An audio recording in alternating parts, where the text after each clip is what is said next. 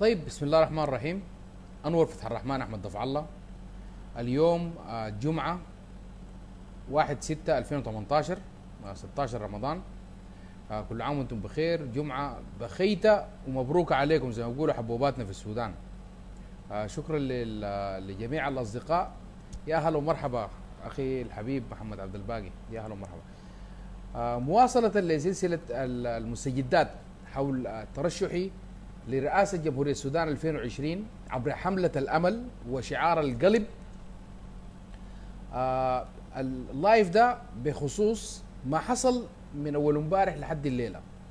يعني إحنا إخواننا في عصر بتاع بتاع بتاع تواصل اجتماعي بيمكن الناس من إنهم يعملوا حاجات زمان ما كانت ممكنة.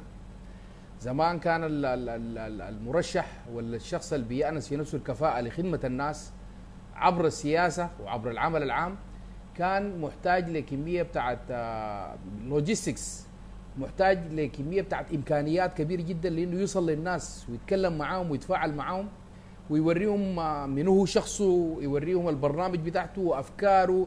ودار ينفذها كيف. الكلام ده هسه حاليا الحواجز دي ما موجودة.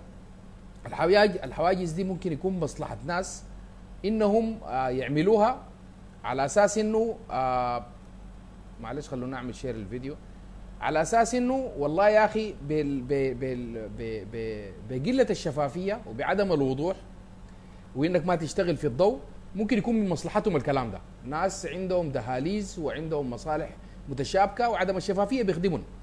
أنا كمواطن سوداني وإنت كمواطن سوداني آه، الشفافية بتخدمنا من مصلحتنا إنه الحياة تكون في الضوء وفي النور ونناقشها على أساس إنه لو في قرار أفضل ممكن ناخده ناخده مع بعض.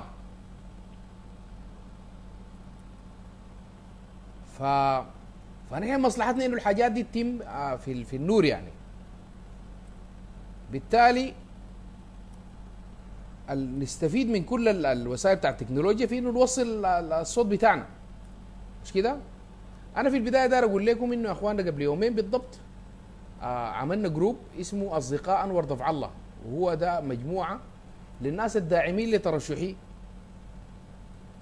لرئاسة جمهورية السودان. تمام في 2020 فنحن ال group ده مما عملناه آه، جاء ب- باقتراح من شابة لطيفة جدا. نحن عملنا ال group وأنا صراحة ذهلت. ال group ده في أقل من 48 ساعة فيه أكثر من 2100 شخص. ال 2100 شخص ديل عبارة عن شباب وشابات. يعني الناس ديل خارج الإطار التنظيمي السياسي التقليدي بتاع السودان. الشباب ديل ممكن يكونوا فاقدين الأمل في إنه يكون في مستقبل كويس لبلدنا في المستقبل. الشباب ديل آه، عندهم طاقات ومستعدين إنه يعملوها لخدمة البلد والوطن.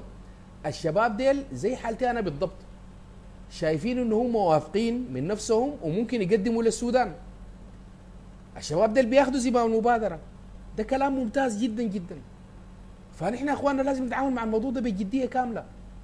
الموضوع بتاع إنه التغيير ده والوسائل بتاع التغيير ناخذها بيدينا وناخذ زي المبادرة ونعمل اللعبة وقواعدها بالطريقة اللي نحن. مش زي ما قالوا لنا. عشان كده أنا بقول يا أخوان أي زول يترشح رئاسه الجمهورية أي حزب سياسي لو هو جادي فعلا المفروض يشتغل من الآن.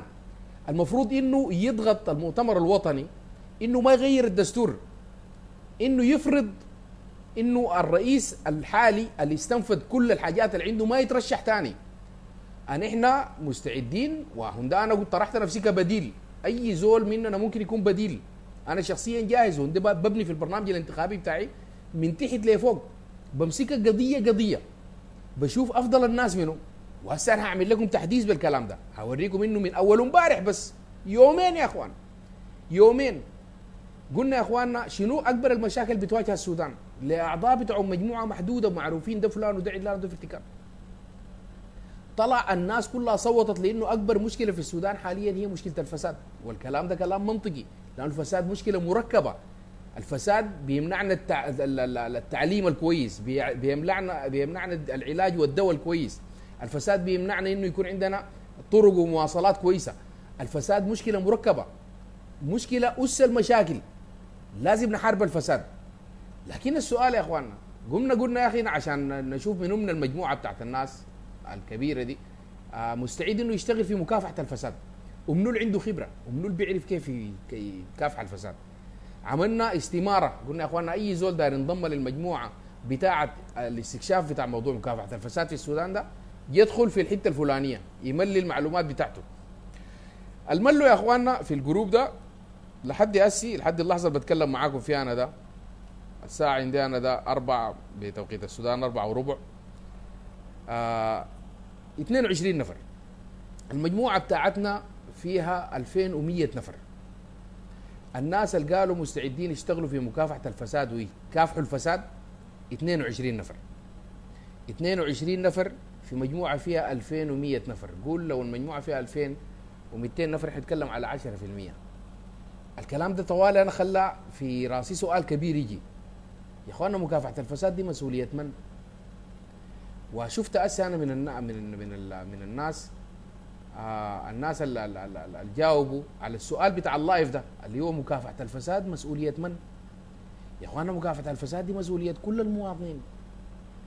أي نعم الآلية وال وال والقانون وتطبيق الكلام ده والمحكمة دي كلها دي عندها جهات محددة. دي والله المحكمة وده المدعي وده المحامي اللي بيحامي عن الزول المتهم. وده السجان اللي بيشيل الزول دخله السجن وده إلى آخره. لكن مسؤولية مكافحة الفساد في الأساس هي مسؤولية الجميع. أنا أنور ده مسؤول من مكافحة الفساد في السودان. وبين السودانيين بنفس القدر أي زول فيكم هسه حاليا موجود في اللايف ده يا إخواننا مسؤول. يبقى ان إحنا كلنا دايرين نكافح الفساد. الكلام ده مهم جدا جدا. في بعض مننا تصدوا لإنه يكونوا الناس اللي بيعملوا العصف الذهني في كيف نستحدث وسائل جديدة. ما قلنا إنه الفساد عنده طرق كثيرة. يعني في غانا مثلا في صحفي استقصائي اسمه أنس. أنس ده بيمشي اندر كفر يعني بيغطي وشه وما بتقدر تعرفه. بيجيك بأي زول يقول لك أنا تاجر مثلا بتاع سيخ. أنا تاجر بتاع سكر.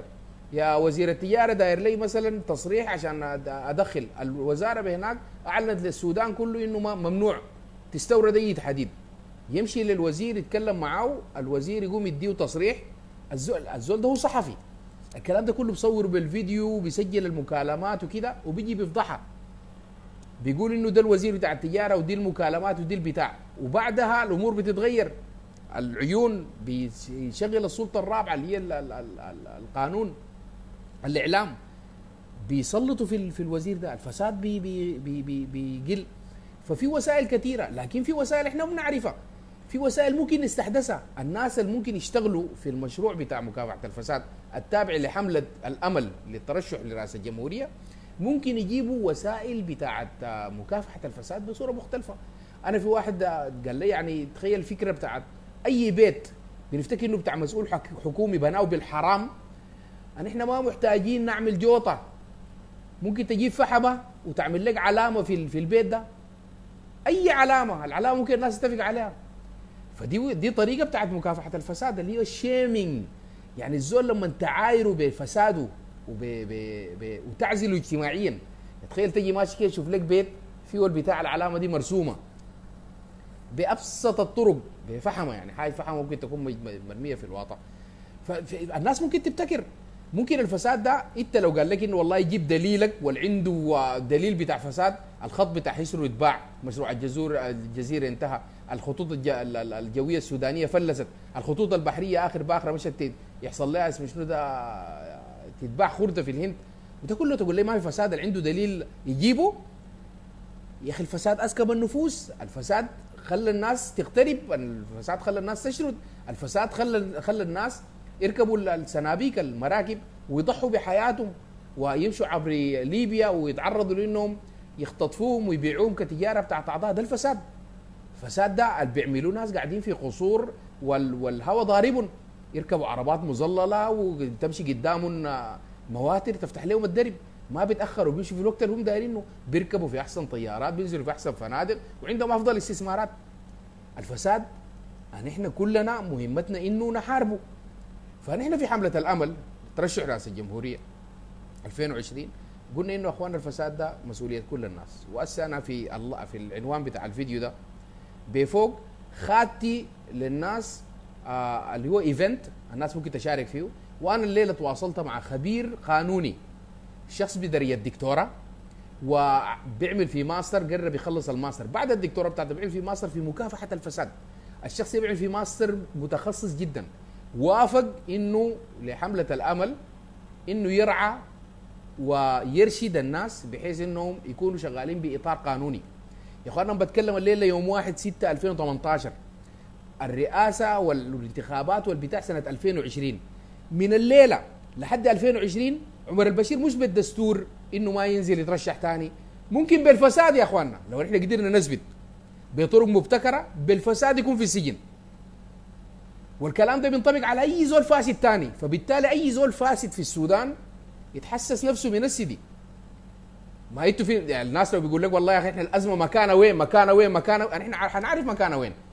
لأنه إن إحنا من مصلحتنا إنه نعرف مكانها وين والزول اللي عملها تندخله السجن يبقى يا إخواننا نجد في الموضوع. الموضوع ده جاد ما لعب في يومين 2100 نفر دخلوا مجموعة بعضهم تصدى لإنه يبدأ ينشئ البرنامج الأول لحملة الرئاسة اللي هو برنامج مكافحة الفساد.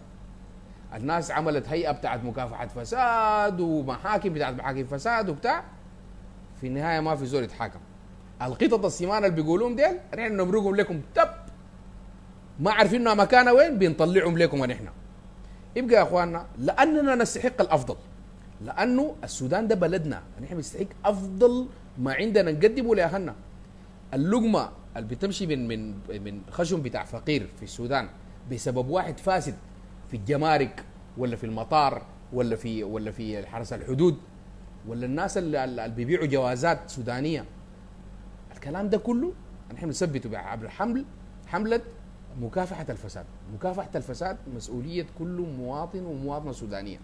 اللي بنحاول نعمله هسه نحن إخواننا وحنعمله بدعمكم الحاجة دي لو بقيت أنا رئيس لو ما بقيت رئيس الكلام ده مفيد في مصلحتنا وبنستحقه نحن. فانا اناشدكم يا اخواني وأخواتي. أيها الزول والزولة أنا بحبكم. آه ما ما الكلام ده كله بيسقط ما في حصانة. حصانة وين؟ ان إحنا ديل يا أخواننا القوة. الشعب هو القوي. الحكومة ما القوية. الشعب هو القوي. ان إحنا بحبر حملة الأمل دي حنثبت الكلام ده. واحدة واحدة خطوة خطوة.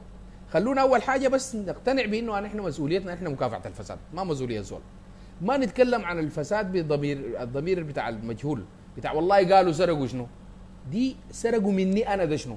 الليلة لو انت سرقوا محفظتك في المواصلات حتيجي تحكي للزول تقول له والله محفظتي سرقوها وكان فيها البطاقة وفيها شنو. أي حاجة بتحصل في بلدنا بتسرق يا أخواننا دي بتسرق من جيوبنا نحن. بتسرق من مستقبل ابنائنا بتسرق من الأحلام والآمال بتاعت الشباب الصغار ديل اللي بيتعرضوا للهزيمة كل يوم. تسرق من كل زول بيقضي زمن في الغربة دي. بتسرق من كل زول فقد الأمل في البلد خلاص يعني. والكلام ده مسؤوليتنا نحن ومسؤوليتنا نحن نكافئه وده أول برنامج من البرامج اللي بدعوا الناس إنهم ينخرطوا فيه بكل جدية. برنامج مكافحة الفساد في إطار حملة الأمل آه لرئاسة السودان 2020 شكرا لكم يا إخواننا وكامل المحبة والإحترام. السلام عليكم ورحمة الله وبركاته.